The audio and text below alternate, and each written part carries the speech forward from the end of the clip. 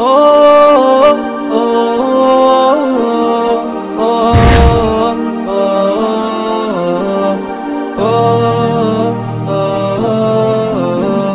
ah,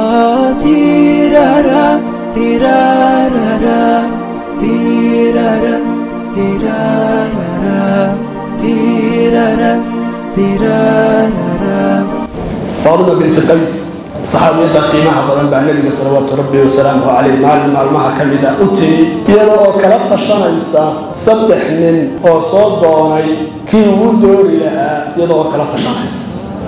Diintu waxay nasteexo u tahay alleh iyo kitaabkiisa iyo rasuulkiisa iyo madaxda muslimiinta iyo bulshaweynta muslimiinta buu nebigu uri salawaatu rabbi wasalaamu caleyh umi darbaa saxaabiyadda qiimaha badan ayaa habeen habeenada ka mid a waxaa u soo hoygay madaxweynihii muslimiinta ee cabdilmalik ibni marwaan markaasuu wuxuu u keenay hadiyad weel iyo mataac buu u keenay habeenkii markii la seexday baa waxay maqashay cabdilmalik ibni marwaan oo u yeedhaya ninkii khaadimkiisa ahaa ee u shaqaynayay gacanyaraha u ahaa isagoo u yeedhaya Tirara, tirarara, بسم الله الرحمن الرحيم الحمد لله رب العالمين صلى اللهم وسلم وبارك وانعم على عبده ورسوله محمد وعلى اله وصحبه اجمعين السلام عليكم ورحمه الله وبركاته إلهي سبحانه وتعالى محض أوردان اسكاله نعمك tirada badan ee aynaan tira koobi karaynin inagu galladaystay. Ilaahay subxaanahu wa tacaala waxaynu uga mahad celinaynaa nicmada islaamnimada nicmada amniga nicmada caafimaadka aynu isugu nimi iyo nicmooyinka faraha badan leh ee aynaan tirin karaynin ee alla subxaanahu wa tacaala uu inoogu deeqay ma hadda alle subxaanahu wa tacaala kadib waxaan u mahad celinayaa runtii walaalaha culimada iyo ducaadda deegaankan ee sida wanaagsan ee qiimaha badan noo soo dhoweysay jazaahum allahu khayran wabaarak allahu fiihim mar kale runtii waxaan u mahad celinayaa cid kasta oo ka soo shaqaysay barnaamijkan qiimaha badan leh ee aynu caawa wax diinteenna ka mid a aynu isugu sheegi doono biidni illaahi tabaaraka wa tacaala. Intaa kadib walaalayaal kelimaad koob kooban ayaynu ka odhan doonaa mowduucaas walaalkeen sheegay addiinu nasiixa.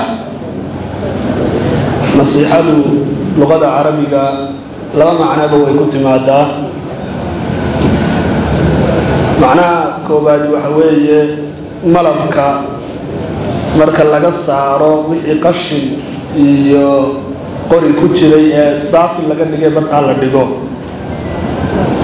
Ayaa la yidhaahaa malabkaasi waa malab mansuux ah yacni wax kale aanay ku dhex jirin oo saafiya waxaa kale oo naasix la yidhaahaa qofka harqaantolaha ah ama harqaanlaha ah ee dawaarka ka shaqeeya wax tola. Isna naasix baa la yidhaahaa labaduba marka la isu geeyo nasiixadu waxa weeye wax wanaagsan oo qofkii la siinayo ama loo qadimayo wixii dhib iyo dhibaato iyo mushkilad lahaana laga ilaalinayo oo laga saarayo meeshii. Imaam jordani waxa uu isagu ku tilmaamay nasiixadu inay tahay yeedhis dadkii loogu yeedhayo wixii wanaag ku jiro oo dhan oo loo qadimayo. Iyo ummaddii in laga fogeeyo oo laga reebo oo laga durkiyo wax kasta oo fasaad iyo dhib uu ku jiro.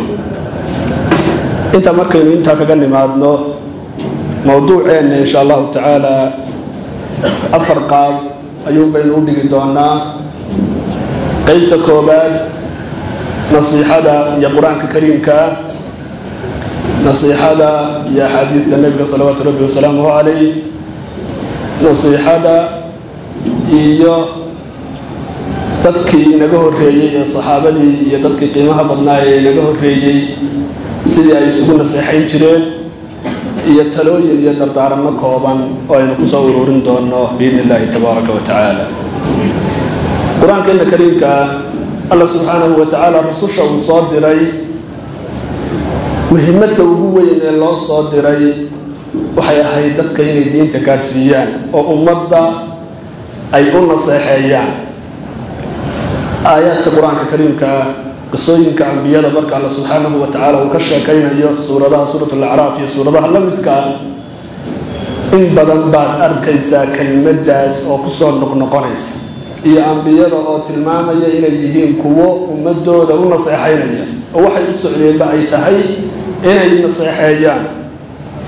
Nebi nuux haddaynu ku bilowno alla subxaanahu wa tacaala suurat alacraaf waxa uu inoogu tilmaamay nebi nuux qowmkiisii isagoo la hadlaya uu yidhi uballiqukum risaalaati rabbii wa ansaxu lakum wa aclamu min allahi maa laa taclamuun fariimihii alleh ayaan idin soo gaadhsiiyey oo aan idin soo gaadhsiinaya waxaana aan ahay oo aan ahay qof idin naseexaynaya oo wixii dantiinnu ay ku jirtay idinku hagayo idinku hogaaminaya wa min allahi maa laa taclamuun. Allana waxaan ka ogahay waxaydaan idinku ka ogeyn buu nabi nuux leeyahay. Muddo ayuu la dhex taagnaa nasiixadaas iyo ummadda inuu jidka saxaa ku toosiiyo nebi nuux sagaal boqol iyo konton sanno ayuu muhiimadaasi ka shaqaynayay. Sidoo kale nebi huud oo ahaa nebigii loo diray qowmkii caad uballiqukum risaalaati rabbii wa ana lakum naasixun amiin. Fariimihii alle ayaan idin soo gaadhsiinayaa waxaanan ahay qof naseexaynaya oo weliba nasiixadiisaas ku darsaday ammaano ila qof baaba isaga kaa dhiga midku u naseexaynayo wax wanaagsan kuu wada laakiin aan wixiisaasi aanay arrintiisaasi arrin saxa aanay ahayn oo nasiixadiisu aanay sax ahayn. Laakiin ammaano ayuu sheegtay inuu naasix amiina yahay.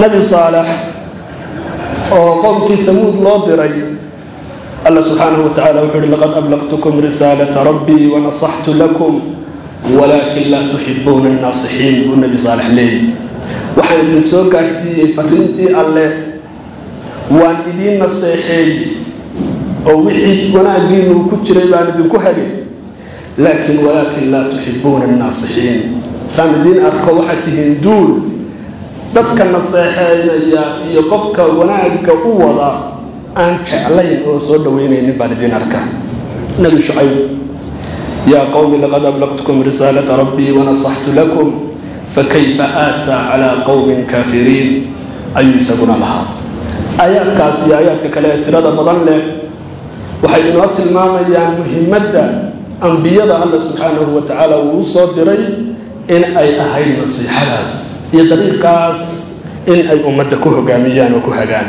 toosan nabigeenu salawaatu rabbi wasalaamuhu calayh xadiidka tamiim bin awsin iddaari ee saxiixu muslimka ku sugan waxa uu yihi nabigu sala allahu calayhi wasalam addiinu nasiixa. Diintu waa nasteexo. Dadka balaaqadu way yaqaanaanee musnad iyo musnad ilayhiga haddii la qasriyo waxa uu faa'iideeyaa xasri. Yacni diintuba waa nasteexo.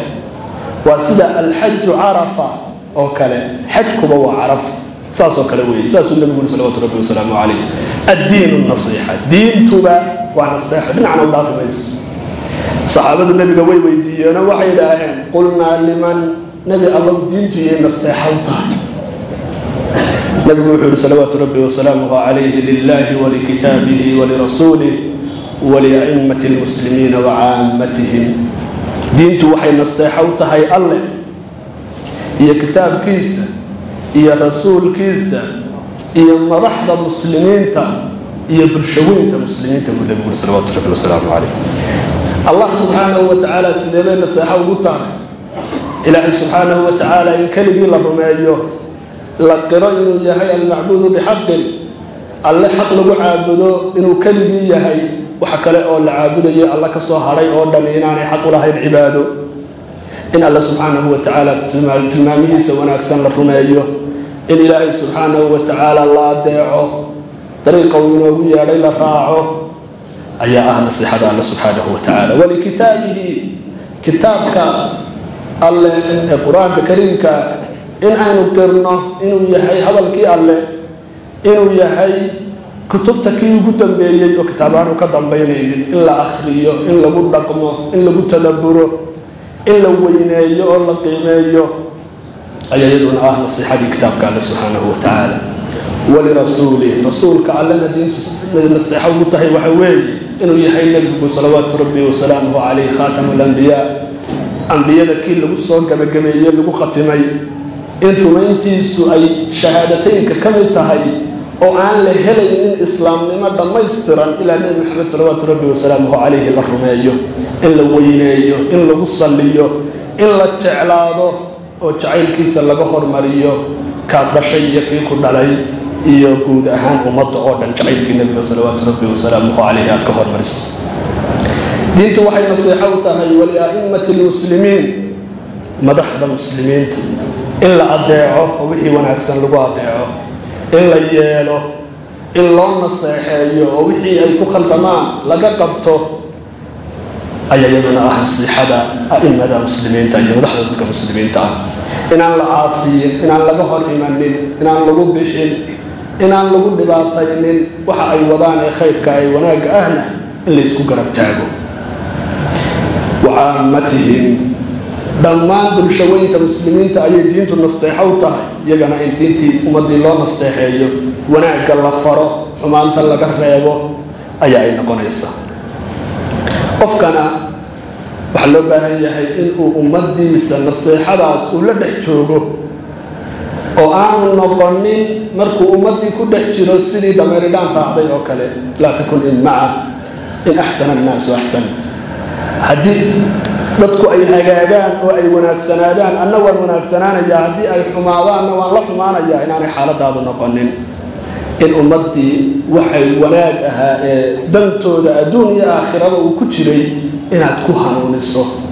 Oo weynaynta iyo ixtiraamka agtaada dadka qaar ay ku leeyihiin aanay ka hor istaagin xaqa sheegistiisii iyo ummaddii inaad ugu naseexayso. Nebigu wuxu uhi salawaatu rabbi wasalaamu calaa alaa laa yamnacanna axadakum haybat nnaasi an yaquula bixaqin idaa ra'aahu aw samica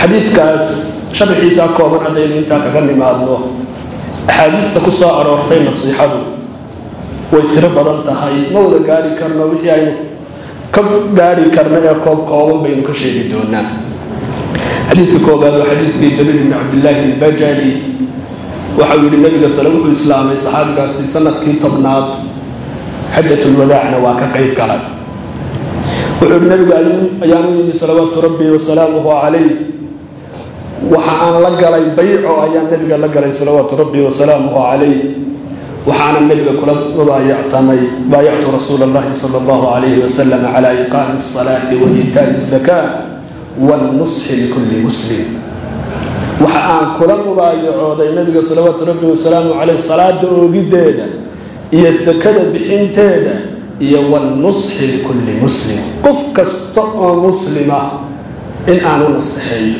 oo wanaag aan kula dhaqmo oo wixii wanaagsan aan ku ilaaliyo.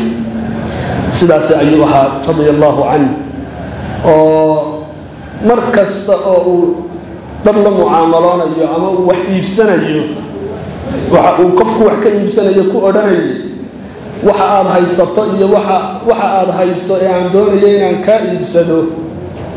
Adiga agtaada waxaan ka rabaa inuu waxaasi waa wixii qiimaha badnaa ee adiga qiimaha kuugu joogay. Waxa aada haysato ayaan anigu jecelahay. Haddaba ka fiirso waxaad iga iibinayso qiimihii ugu macquulsanaa igaga iibso.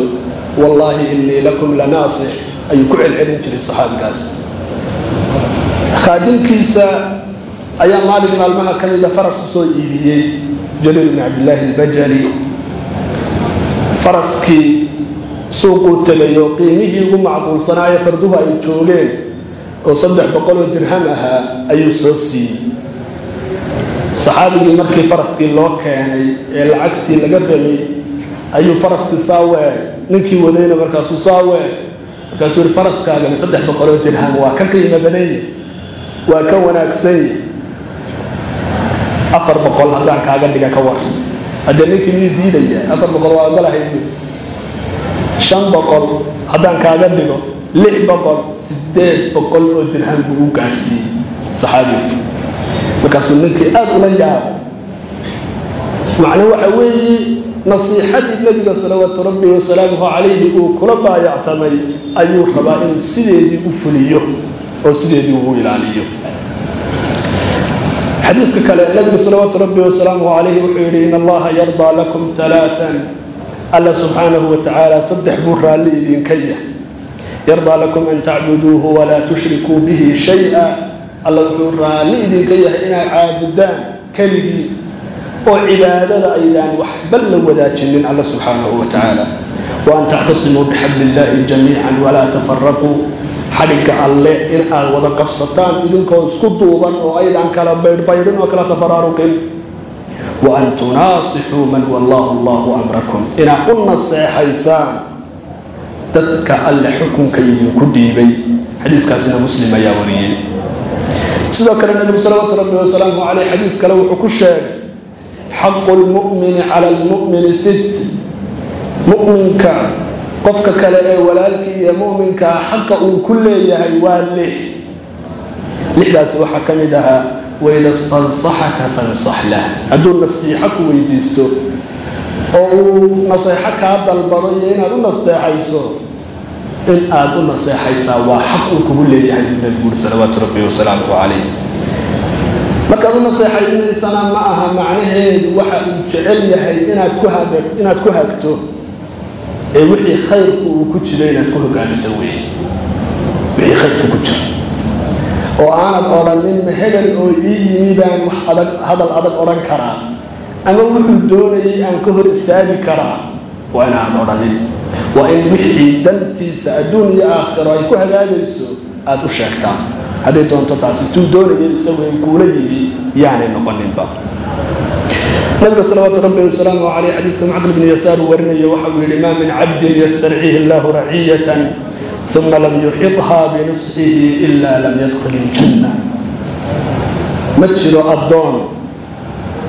Alla subxaanahu wa tacaala ummad hoggaankeed iyo mas'uuliyadeed uu u dhiibay oo dad uu raciyo uga dhigay madax oo dadkaas nasiixadiisa aan ku koobin ilaa lam yadkhul iljanna ilaa janno lama galo qofkaas dadkaa janno la geli maayo haddii ummaddii mas'uulka looga dhigay aanu un wada nasteexaynin oo kii isaga xigay iyo kii aan xigin kii uu jeclaa iyo kii aanu jeclayn ummaddii uu hoggaanka u wada ahaa aanu lilaahinimo kula dhaqmin jannada la geli maayo buu nabigu uri sala allahu calayhi wasalam riwaayadii kalmaa min cabdin yastarciihi allahu raciyatan yamuutu yowma yamuutu wahuwa gaashun liraciyatih ilaa lam yadkhul iljanna saas daraaddeed waxaynu arkaynaa nasiixada heerka ay ka joogto diinteenna islaamka iyo qiimaha ay ku leedahay.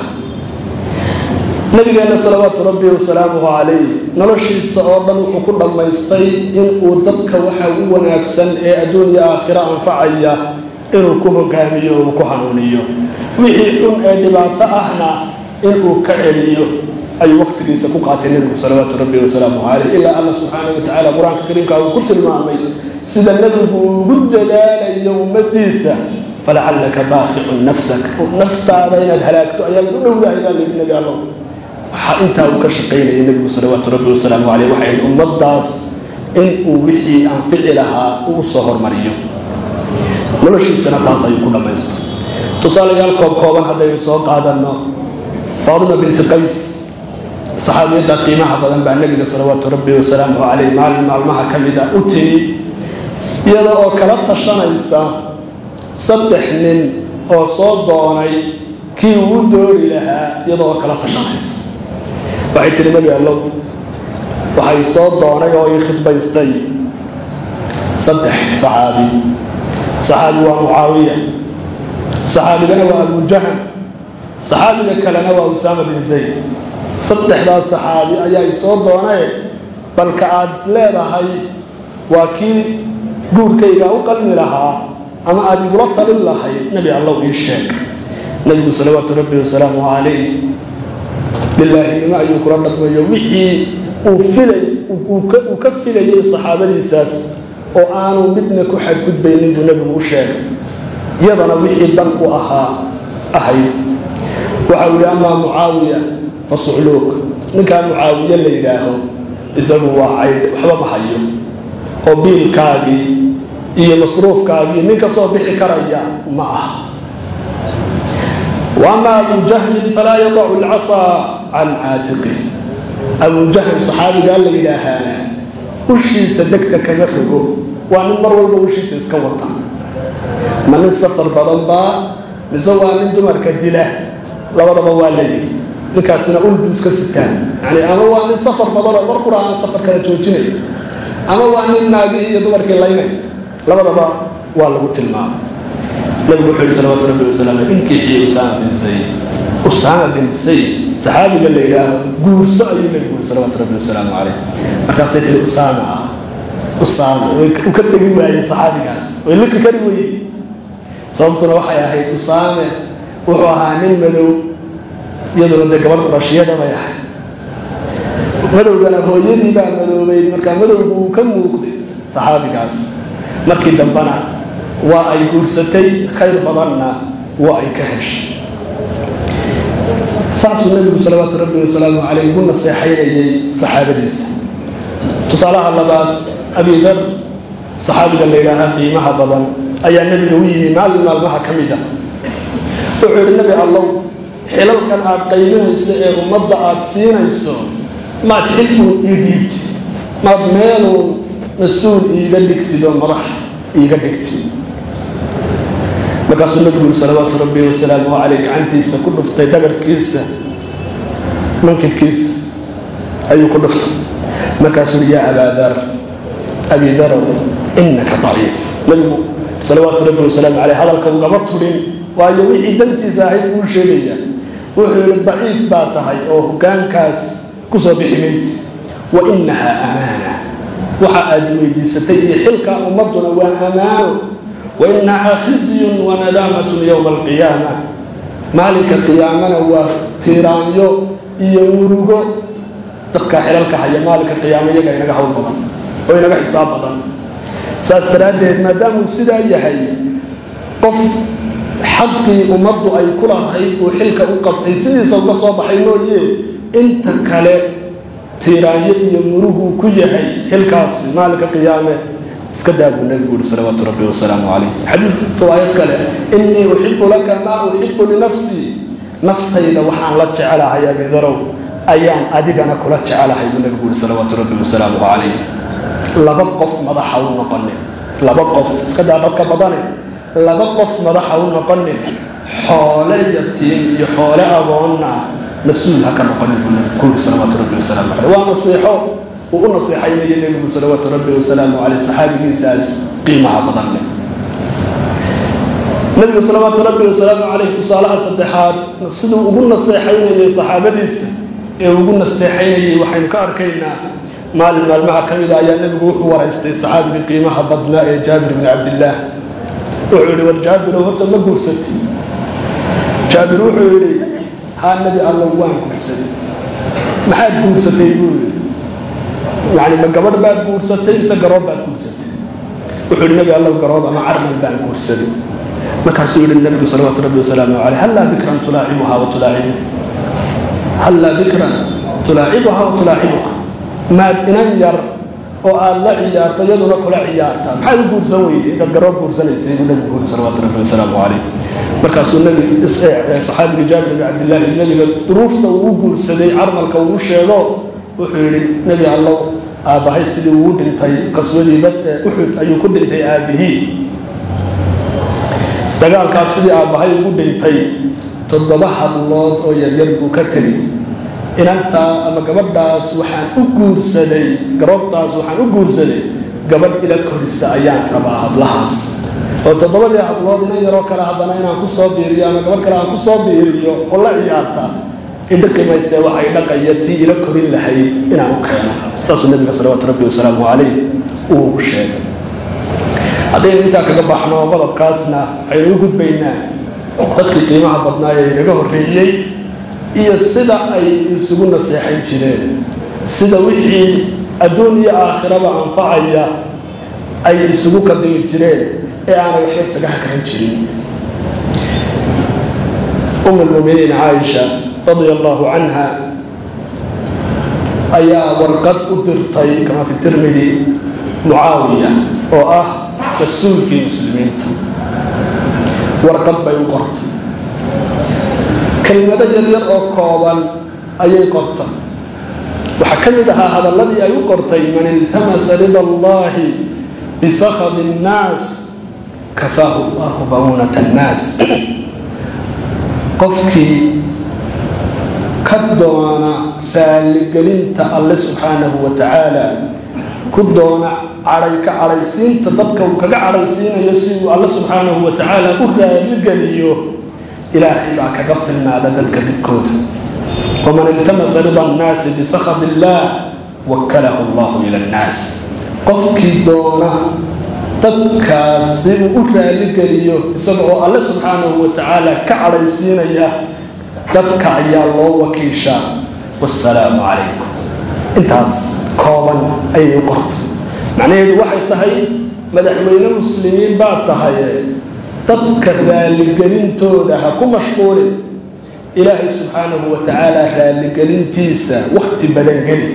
Waayo dadka madaxdaa waa la yaqaanaa marar badan waxaan laga yaabo inuu alle subxaanahu wa tacaala ka cadhaysiinayo ayuu la imanayaa si uu dadka u raaligeliyo saas daraaddeed maadaama mas'uul muslim aad tahay ilaahay raaligelintiisa xoogka saar oo xoogka ha saarin dadka iyo inaad raaligeliso waayo rida annaasi qaayatun laa tudrak.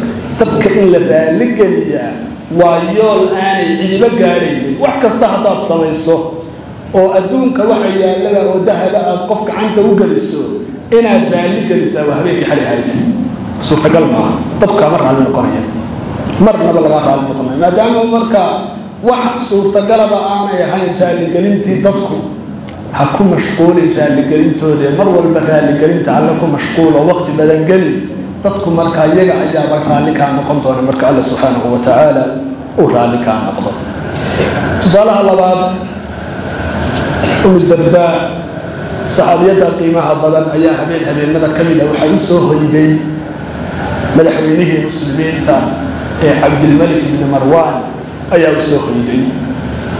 Markaasuu wuxuu u keenay hadiyad weel iyo mataac buu u keenay. Habeenkii markii la seexday baa waxay maqashay cabdilmalik ibni marwaan oo u yeedhaya ninkii khaadimkiisa ahaa ee u shaqaynayay gacanyaraha u ahaa isagoo u yeedhaya. Markuu u yeedhay baa ninkii malaa waa hurdayo uu ka daahay oo ka habsaamay kadibna uu laacnaday subaxii markuu waagu bariyey ayay tiri waxaan maqlay xalayto in mar aad khaadimkaaga u yeedhay oo uu hore kuugu iman waayey. Inaad lacnaday ayaan xalayta maqlayay waxaan ka maqlay nabiga salawaatu rabbi wasalaamuhu calayhi laa yakuunu lacaanuuna shuhadaaa walaa shufcaaa yowma alqiyaama. Dadka wax lacnada ee mar walba hebel naclada kugu dhacday u la soo taagan ee sidaa wax u lacnadaa maalinka qiyaame ma noqdaan makhraatiyaalna ma noqdaan kuwo ergeeyo oo shufcaana ma noqdaan. Saasaa nabiga salawaatu rabbi wasalaamu caleyh aan ka maqlay. Saas daraaddeed lacnada iska daaweeyey lacnada iska jir oo iska ilaali. Waa madaxweynihii muslimiinta iyaduu marti u yahay. Weliba hadiyad buu u keenay waxaa laga yaabaa dad badan inay caawa haddii madaxweynuhu la hoydo oo weliba wax u dhiibo inaanay caawa intaasi kula dhiiran karaynin oo wixii xaqa ahaa ee saxda ahaa aanay u sheegi karayn. Oona bal cid kalaan u diri doonaa. Kolley anigu hadalkaa iminka diyaarba uma yihiin aan ilaahee bal qof kalaan u wakiilan doonaa.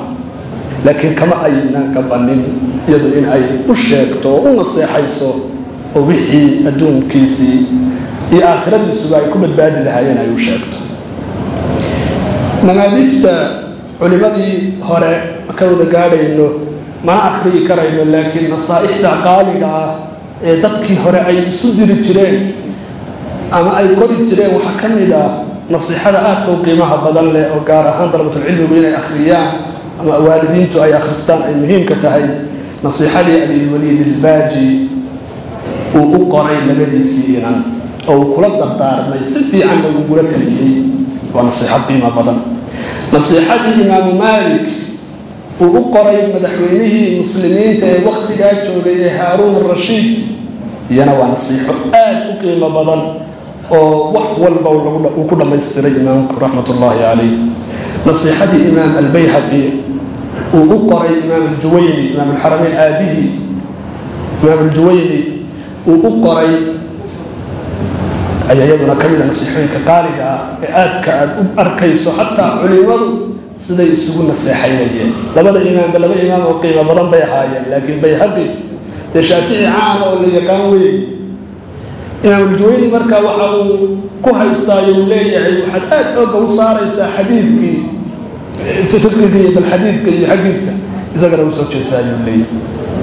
Risaalada qiimaha badan iyaduna ay isweydaarsadeen imaam maalik iyo imaam layth bin sacd baa iyaduna ka mida rasaaisha qiimaha badan ee rasaaixda muhiimka ah ee ay tahay in la akhristo xataa dadka muslimiinta ah ee culimada ahaa waxay rasaa'il u qorayeen madaxweynayaashii gaalada ahaa baahannahay iyada ma jirto. Gaalada laftigeedu inay islaamto oo hanuunto oo janno ay gasho waa maqsad loo baahan yahay. Nabiga salawaatu rabbi wasalam aleh saasuu ugu dadaalay. Ninkii yaraaye yahuudiga ahaa ee naftu ay ku soo xaadirtay ee nebigu isu soo dul taagay ee uu ku yidhi nebigu salawaatu rabbi wasalaamu caleyh isagoo sii dhimanaya shahaado shahaadateynka uu la dimay ee uu aabihii sidaa u eegay yihi adic abalqaasim abulqaasim warkiisa yeel nebi maxamed weydi salawatu rabbi wasalaamu caleyh warka abulqaasim oo ah nebi maxamed qaada buu ku yidhi aabihii markaasuu ashahaad ninkii yaraa yahuudiga ah sidii buu ku islaamay markaasuu nabigu farxay salawaatu rabbi wasalaamu caleyh alxamdu lilahi aladii anjaahu min annaar. Ilaahay baa mahadle naar ka badbaadiyey buu nabigu leeyahy salawaatu rabbi wasalaamu caleyh halkaasay naga taaganta lian yahdiya allahu bika rajulan waaxida khayrun laka min cumri nicam hal qof ilaahay subxaanahu watacala uu kugu soo hanuuniyo oo sababtaada hal qof uu diinta islaamka ku qaato ayaa kaaga wanaagsan buu nabigu ku lahaa salawaatu rabbi wasalaamu caleyh geel cascas oo markaa qiimo weyn lahaa kaaga wanaagsan. Waxaan ku soo gabagabaynaynaa walaalayaal dhowr talo oo koob kooban dhowr nasiixo oo koob kooban oo aan bulshada guud ahaan in la wadaagay nasiixada koowaad culimmada iyo dadka ducaadda ah ee ahlu khayrka ah maadaama oo ay yihiin kuwii ambiyada dhaxlay waxaa lagama maarmaana in ay waktigooda ugu badan ku bixiyaan inay cilmi makiina yeeshaan. Inay wakti badan geliyaan in cilmigooda iyo aqoontooda ay kor u qaadaan. In ay u bartaan waxa ay baranayaan ilaahay dartii subxaanahu wa tacaala oo ujeedo kale aanay waxba u baranin.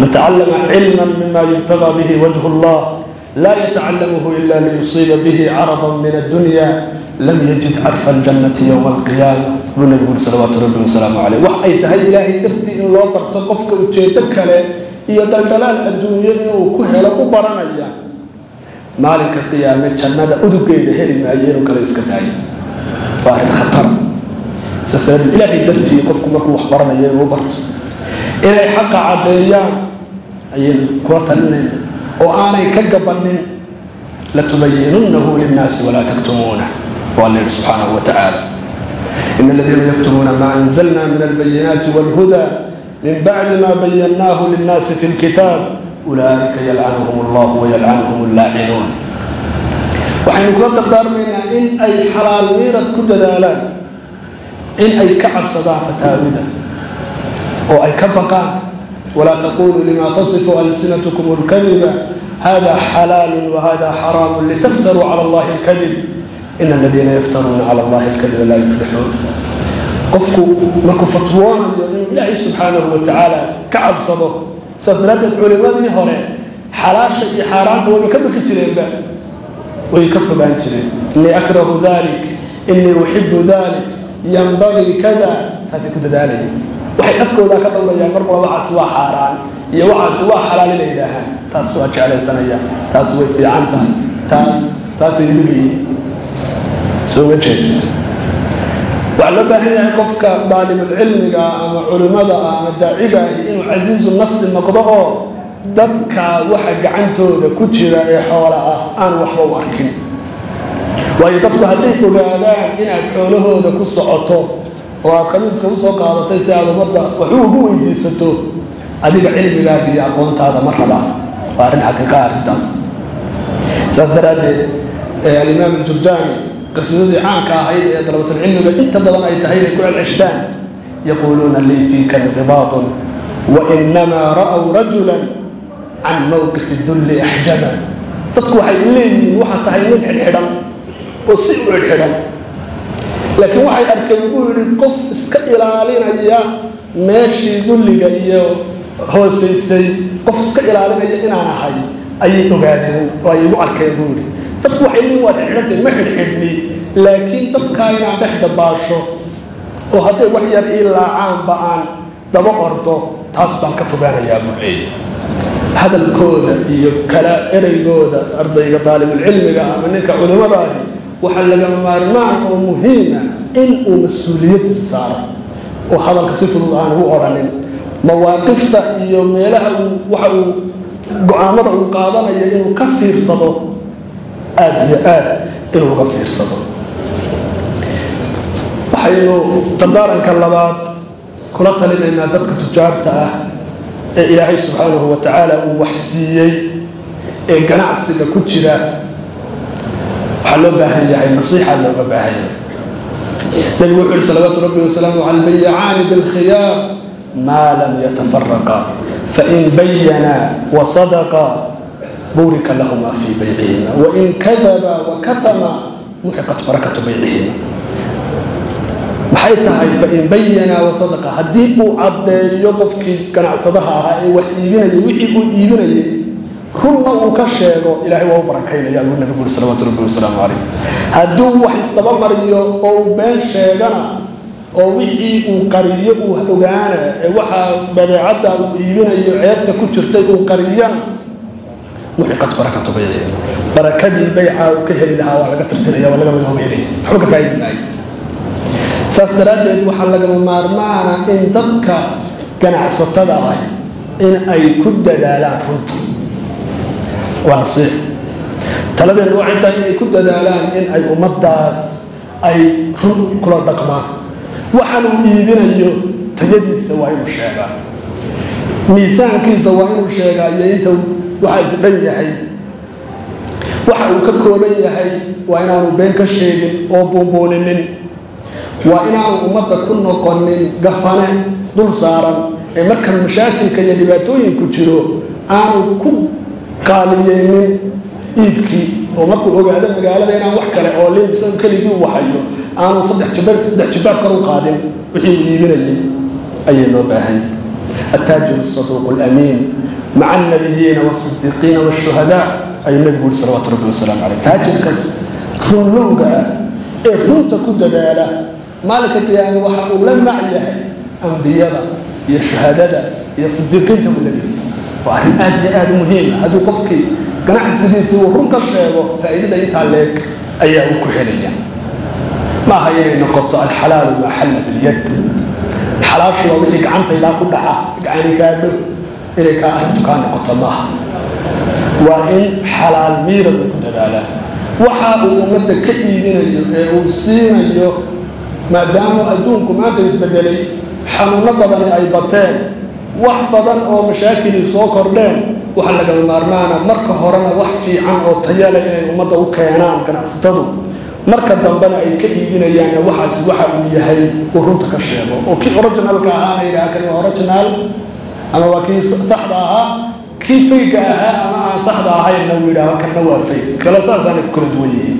Ama ha laga iibsado ama yaan looga iibsanin laakiin ummadda in loo hoosgeliyo oo wixii aan saxda ahayn la yidhaho kana originala oo kii saxda ahaa ee bulshadu ay soo saartay. Arrintaas arrin saxa maaha. Talooyinka aynu bixinayno ka saddexaad waxa weeye warbaahinta iyo miidiyaha dadka ka shaqeeya. Guud ahaan iyo qof kasta oo midiya wuxuu ka isticmaala meel xun buu maanta inala marayaa midiyo waanan wada ogsoonna. Adduunkii cawlamaa dhacday tuulo keliyaa la noqday guri keliya ayaa maanta aad moodaa in lagu wada jiro.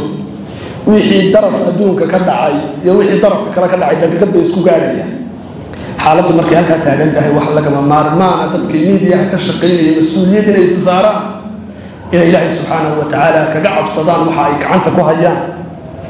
Waayo maanta waa berigii hore asulda raabica baa la odhan jiray miidiyaha iyo saxaafadda. Maanta waa asulda aluula waaba ta koowaad waayo dowlad dhan bay ridi kartaa maanta miidiyu ama warbaahintu. Dowlad dhan bay ridi kartaa. Ummad dhan bay madaxa isu gelin kartaa. Qabaa'il dhan bay isku diri kartaa. Waxaa maanta dhiig daadanaya in badan oo ka mida miidiya ayaa sabab u ah. Saas daraaddeed in mas'uuliyad ay dareemaan dadka gacanta ku haya miidyuhu waa arrin aada iyo aada muhiim ah. Ummadda qiyamkeeda iyo akhlaaqdeeda inay ilaaliyaan waa waajib saaran waa mas'uuliyad saaran wey shawqi waa kii lahaa likulli ummatin madaa aayatun wa hada zamaan suxuf. Ummad kasta ummadihii hore aayad iyo wax calaamada bay lahay maanta innaga calaamadeeda iyo aayad waxaabay noo ah miidiyaha iyo saxaafadaas saas daraaddeed dadka miidiyaha ka shaqaynaya bal horta inta innaga ah ilaa wixii kale shaqada kuma lihiin ee gaalada ahaaye. Laakiin bal horta inta muslimka ah ee gaar ahaan soomaalida ah waxa lagaba maarmaana waxa ay qorayaan iyo waxa ay soo duubayaan iyo waxa ay ummadda u gudbinayaan inay iska hubsadaan inay ilaahay subxaanahu wa tacaala kaga cabsadaan. Hal eray oo aada sheegtay haddii adduunka oo dhan uu wada gaadho maalinka qiyaamo in lagu weydiin doono wixii wax ku noqday arrintaas waa arrin aada iyo aada muhiim ah. Maaligii hore haddii gacan ku dhiigla keliyi jiray maanta dadka dhiigga dhexda baashaa way farabadan yihiin gacan ku dhiiglaa jira jeeb ku dhiiglaa jira kii lacagta bixinayaya qori ku waxaa jira af ku dhiiglaa jira oo ka hadlaya ee marka ummadda isu wada gelinaya madaxa ummadda muslimka waa arrin aada iyo aada ay muhiim u tahay inaynu ogaano talada afraad ee miduu ka dambaysaa waxay tahay dadka hogaamiyeyaasha dhaqanka ah madax dhaqameedka mas'uuliyad baa saaran. Nabigu salawaatu rabbi wasalaamu caleyh uu qiray in madax dhaqameed loo baahan yahay oo dadku hogaan dhaqan inay yeeshaan. Lakiin wuxuu yihi walcurafaau fi nnaar waa xadiiska haddaad maqasho waad naxaysaa waayo maxaa dhacay maxaa naarta ku dhaliyay dadkii hogaankii dhaqanka ahaa? In badanoo ka midi eex bay gelayaan. Waxaa laga yaabaa qabiilkiisa iyo qabiil kale hadday isqabtaan inuu kiisii u eexdo. Marka qofka hogaanka dhaqanka waxaa loo baahan yahay in uu unta uu isagu hogaamiyaha u yahay nabadoonka u yahay isimka u yahay inuu kula dhaqmo lilaahinimo kula dhaqmo oo uu kala garsooro dadka kale iyo qabaaisha kale iyo reeraha kale ee darafyada iyo hareeraha ka xigana iyagana inuu lilaahinimo kula dhaqmo oo wixay xaq u leeyihiin ay ka helaan uu siiyo. Haddii qofka hogaanka dhaqanka ahi uu ummadda u hagaago ummaddaas wax wanaagsan baa laga filayaa uu hogaanka u ahaa. Laakiin haddii hogaamiye dhaqameed aada xaaladiisu adag tahay oo kakan oo odhanaya garta waxaan soo gaadhsiinayaa inaad dhaarataan dhaarta ha ka leexanina nin xaaladiisu halkaa ay marayso hadduu ummad hogaan qabto dee ummaddaas waxba ka hari maayo. Caaqibad yeelan mayso ummadaas waxaan ku soo gabagabaynaynaa wacaamat innaas bulshada guud ahaan mas'uuliyad baa saaran. Diintan waa wada leenahay. Qof kasta mas'uuliyadda diinta waxbaa ka saaran.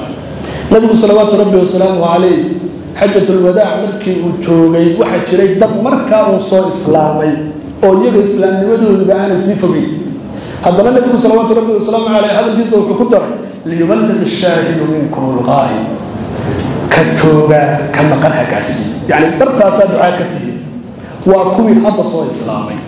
Nabigu wuxuu sal ly slam balliguu canii walow aaya.